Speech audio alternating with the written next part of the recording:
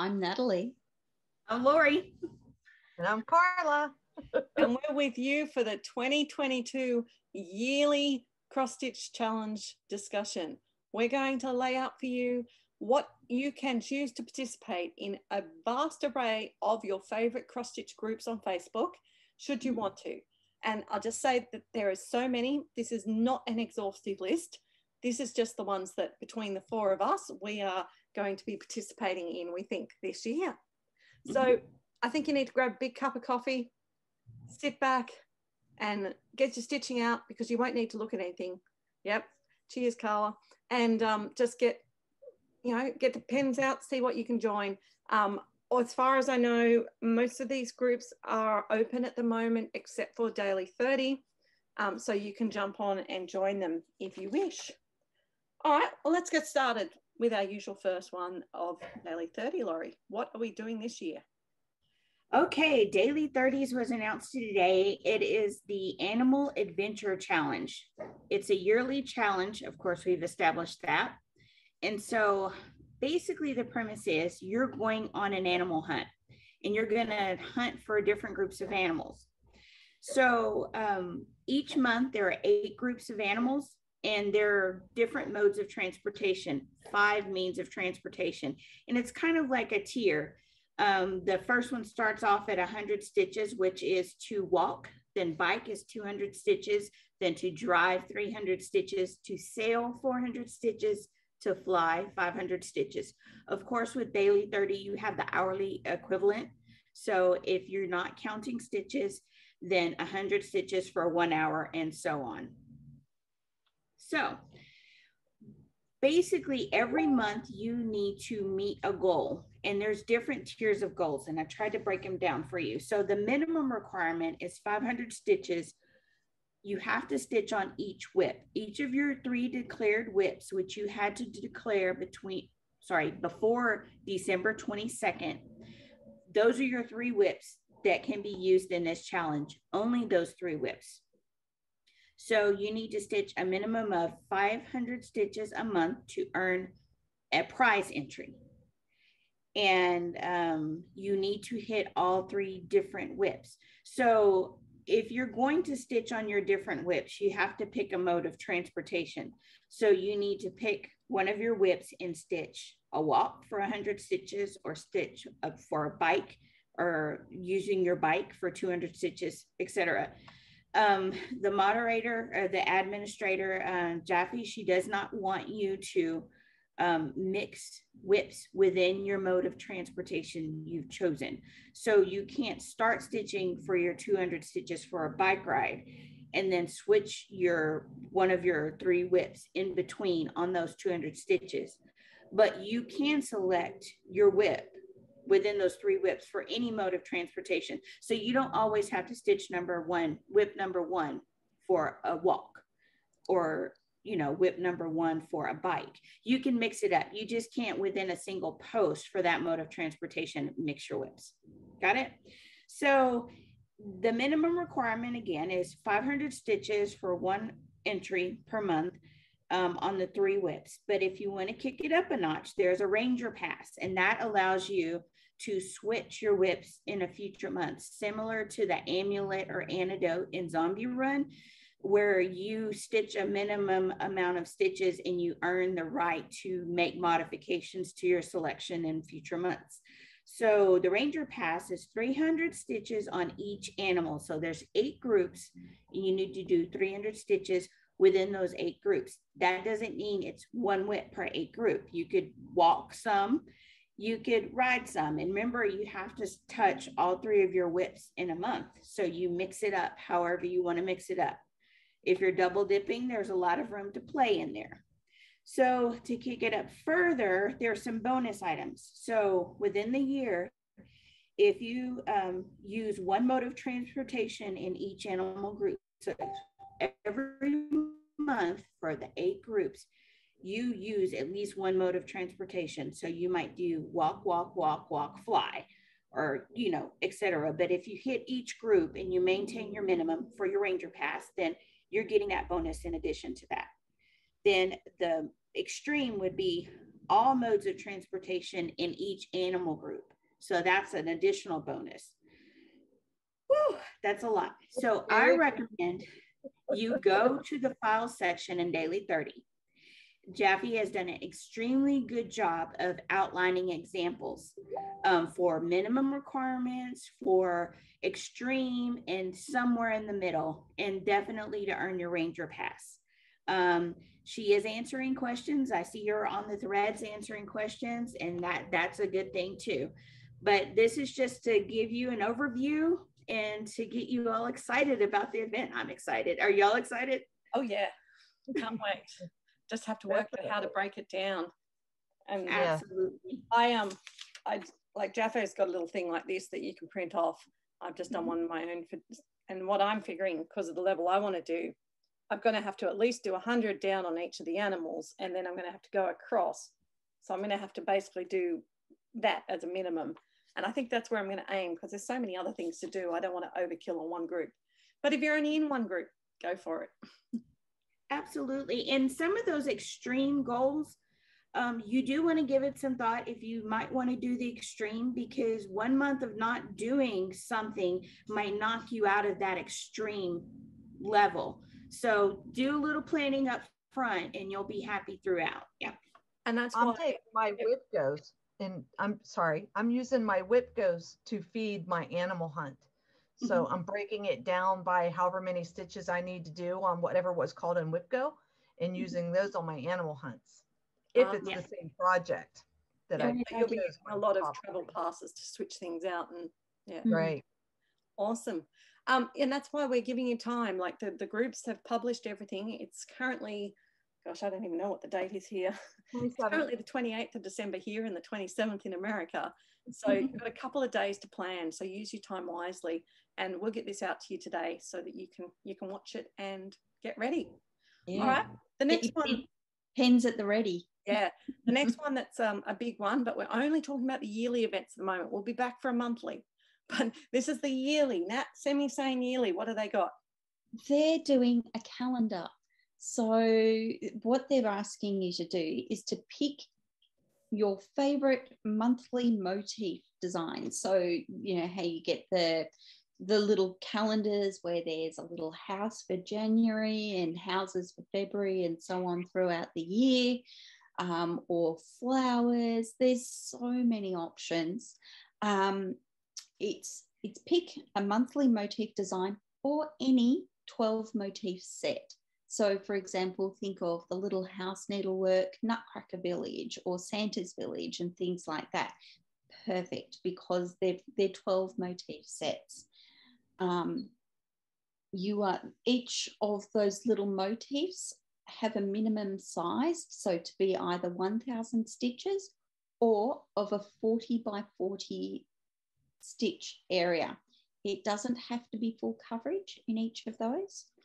On what they do ask you though is that on your January post, you make a statement of what your monthly goal is going to be. So, is it to finish each of those monthly motifs, or is it to just get your minimum thousand stitches in that design? Um, as with the groups, semi sane stitches is open to, I believe it's open, but they do ask that you have a password to enter the group, I believe. Um, is that still the case? I'm, not, I'm honestly not sure at the moment. Yeah. yeah. Just give it a try because they had a change in admins. So I haven't actually heard anything about membership since then. So give no. it a whirl. You might be able to get in. Well, who knows? That's right. Um, they do like their membership to remain active. So participation in at least one event, this might be it. Um, but there are so many other monthly oh. events that are coming up that we're not going to talk about today. No. Um, but it's absolutely what there are some really seriously fun events, and this looks like one of them. I'm really excited. Awesome. Thanks, Nat. Um, WIPGO, Carla mentioned already, is another great one. Now, this is probably the easiest, most stress free um, challenge you can do for the year. You make yourself a WIPGO board, which is like a bingo board and basically you declare and you can still start it now it doesn't matter if you start late declare a whip with a goal for each of the 24 spaces in a board. And then um, Jessie Marie on the WIPGO 2022 site on about the 27th of the month declares the two numbers and they're what you work on. So um, it's something as simple, you set your own goals. It might be you just want to touch that whip. You want to do 100 stitches or two hours stitching on it.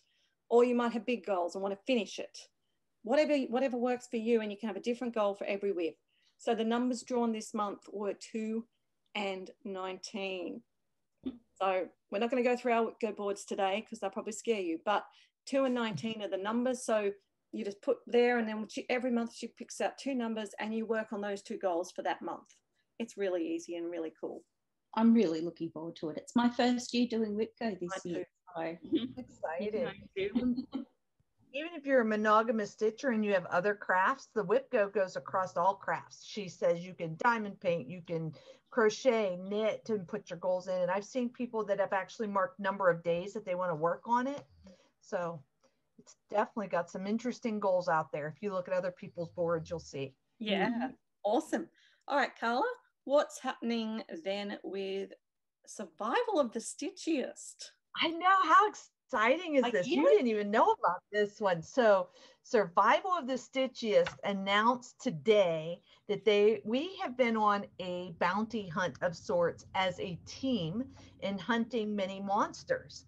Well, this for the yearly event that they've announced, they're going to have an individual hunting challenge. So we are going on a hunt. And what we would do is um, your stitches, you have all year, and you can double dip them with other tasks. So if you're in a group with um, Survival of the Stitchiest, your stitches can count both for your individual hunt and for the weekly challenges that are going on as the team groups.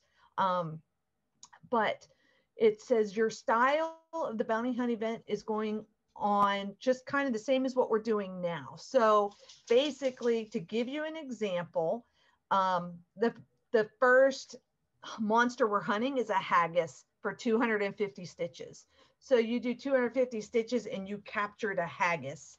Then the next one is a jackalope. It's 500 stitches. You do your 500 stitches and you've captured the jackalope. So it's really just putting your stitches and, and having them work for you and see how far you can get. She said she's going to be adding more as the year goes on. Right now, the biggest hunt that's posted is a 25,000 stitches for a Hydra. So, and they just keep going up in increments. So if you're a big stitcher and you want to start at the top, you don't have to do it in any order that I could see. You can pick and choose. If you have a focus piece, maybe you want to assign that to those bigger stitch items and put all your stitches on that. Um, just have fun with it. It'll, I mean, we're even going to hunt a Bigfoot. Ooh, So- great. And It's what a great fun. way to, to get sort of like a running total of your stitches for the year. That's really cool. Right. And there's posting for survival of the stitches is really easy. It's it follows the same kind of general guidelines all the challenge groups follow. Start photo, reply with your end photo with your total stitches. do we And need a password with this one? Um, I did not see a password, um, but she did say, which I thought was interesting, is you can roll over stitches. So if you needed to do 250 and you did two, say 300, Uh-huh. 50 stitches can roll to your next monster. That's Right. cool. That's interesting. I thought that that that's a little bit different than what she did with the team. So Yeah. I'm excited. I'm excited. And you get 10 treasure for every thousand stitches. So for every hundred stitches, you earn a treasure. And For every thousand, you get 10 treasures. So worth doing. we need that. Yep. treasure. definitely. that So I'm excited about that one. See how far I can get and what I can capture. Yeah, and I know that survivalist of Stitches is still open. It's it's a whole like um, I don't know, like a it's a role playing game where you're in a little settlement. Now I know there's still spaces in some settlements, not ours, but other ones still have spaces. So if you're interested, look it up. You go to the little hotel post and say you're there, or sit there and watch for a bit. Um, it's lots of fun. We're really, I think everyone in our group's enjoying it, so it's awesome. All right, Laurie, what's happening in pop culture? pop culture. Okay. So pop culture is doing ABCs of stitching. And this is really fun. It sounds really fun and it's very flexible. Um, the basic premise is that there's, um, of course, you know, there's 26 letters in the alphabet, but there's different levels of participation. And so there's an easy participation at 100 stitches, medium at 250, hard at 500, and extreme at 5,000. And the goal is for each letter of the alphabet, you find 10 things in your whip that begin with that letter. And she's offering a bit of leniency for those really tough letters. Um, uh, it's in the instructions, but I can't really put my finger on them. But of course, like Q or something like that.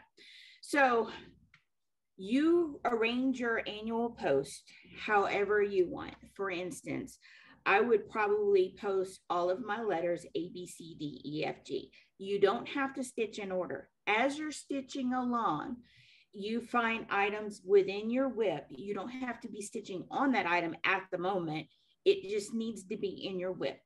And so you say, I am stitching for an aardvark, and you have that aardvark in your whip that you're stitching on. You would post a start and end and claim one of your A's for aardvark. Um, you can't double dip within the same event. So say I'm stitching for that aardvark in Anzac, because I'm sure it has an aardvark because it has everything. so I'm stitching on Anzac. I can't use those same stitches for say S for shark or uh, K for koala. Um, I can still use Anzac and I can still stitch on it, but I can't use that same claim post for multiple um, items. And you just arrange it however it makes sense to you, however you're going to work. You can arrange it by WIP and put in your alphabet letters.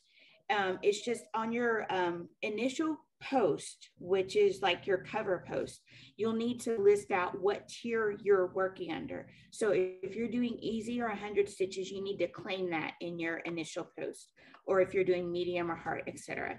And then for all of your claims and all your alphabets, you arrange it the way you need to, what makes sense for the way you stitch. Wonderful. Yeah, yeah, that sounds good. So so I can do Anzac for three letters. I just have to do 250 stitches three times, one for A, one for S, and one for K. Correct. Whichever.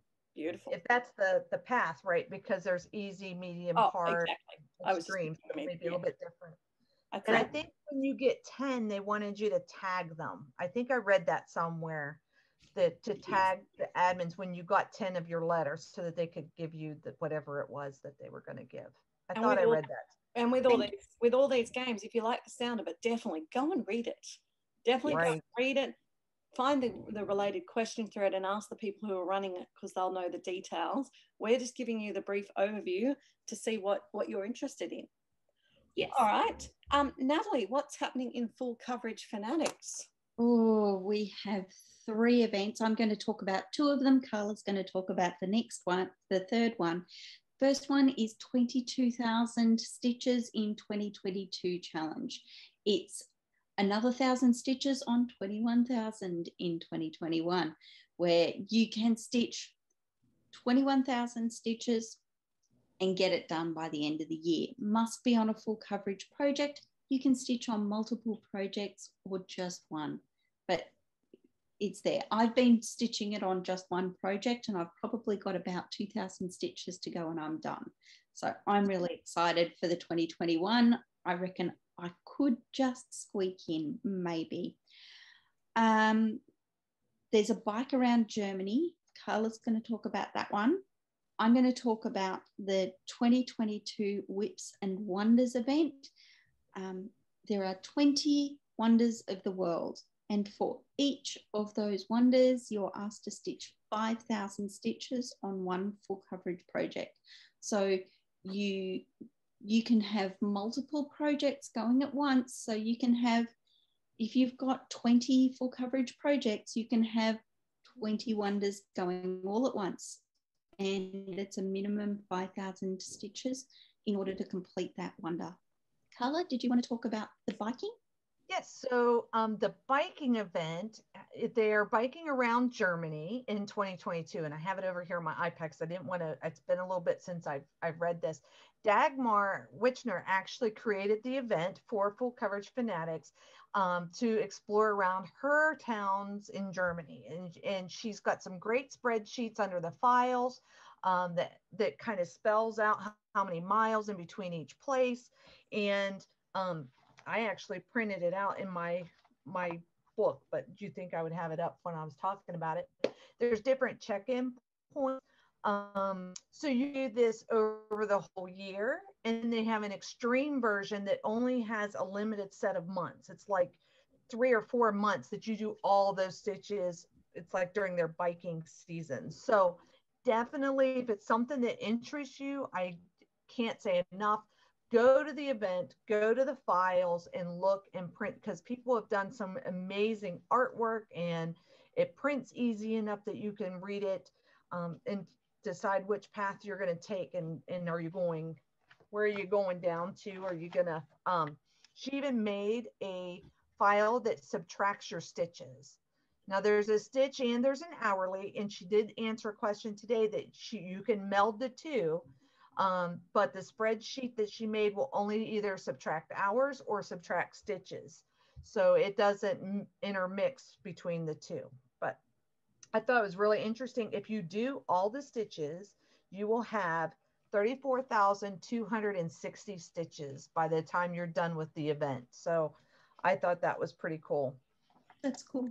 That's a lot of stitches. That's fun. So there's lots of choices. And as with any of these guys, you don't have to do them all. I don't think you can do them all.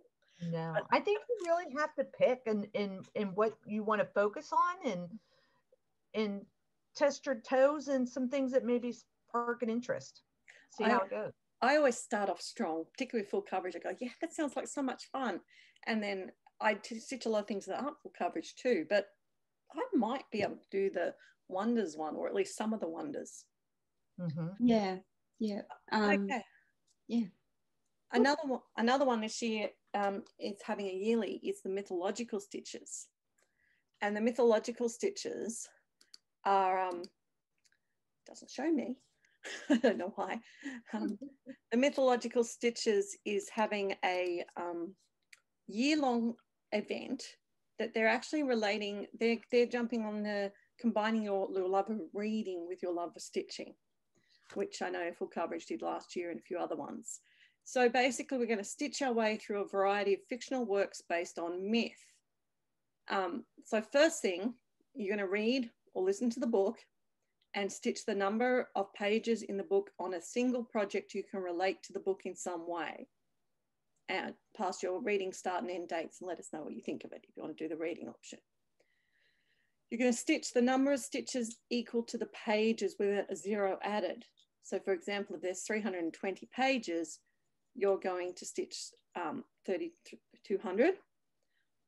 Stitch the number of stitches equal to the year of publication with a zero. So if it was published in 2003, you're going to stitch 20,030. And you can stitch on several projects to add that up. So it's three different things you could do. You don't have to do all three.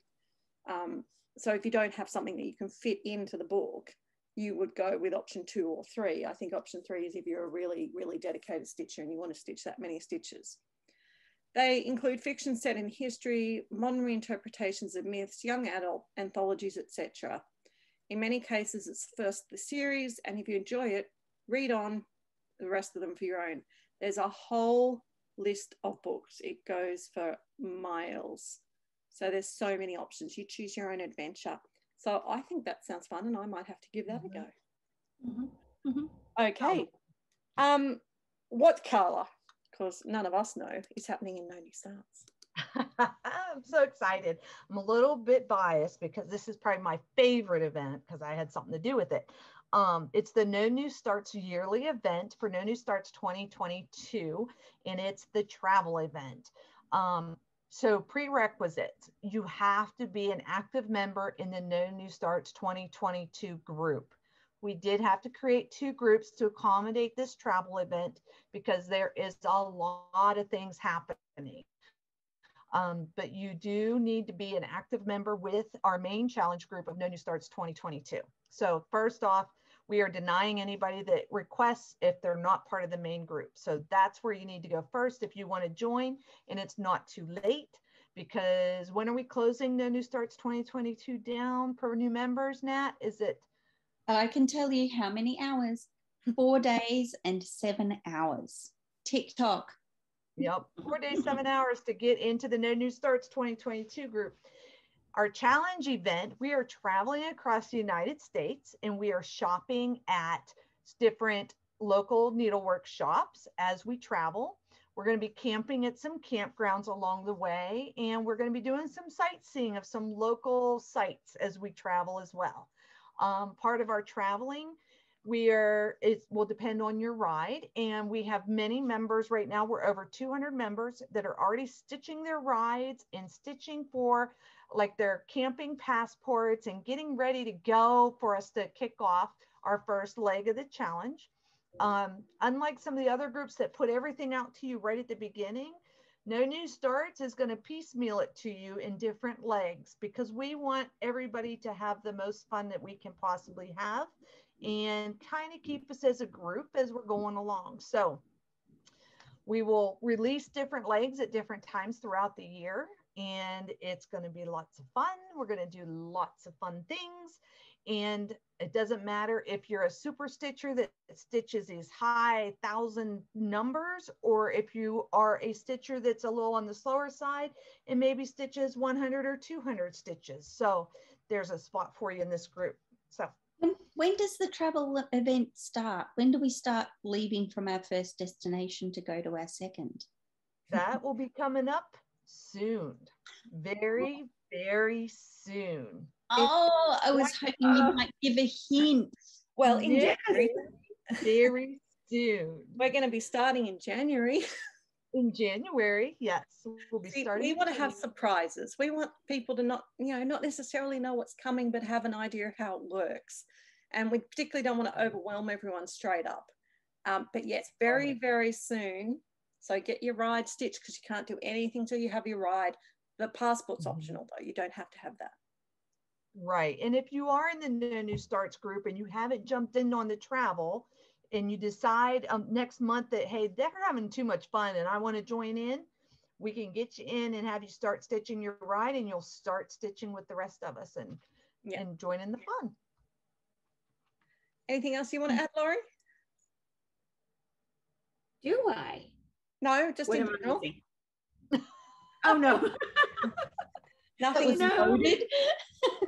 Nothing. I, I have to get planning. I, I have to adjust my planner for all of these new events that have come mm-hmm. and some new ones I didn't plan on joining and I think they sound really good. So yeah, planning, planning. Planning time. Yeah.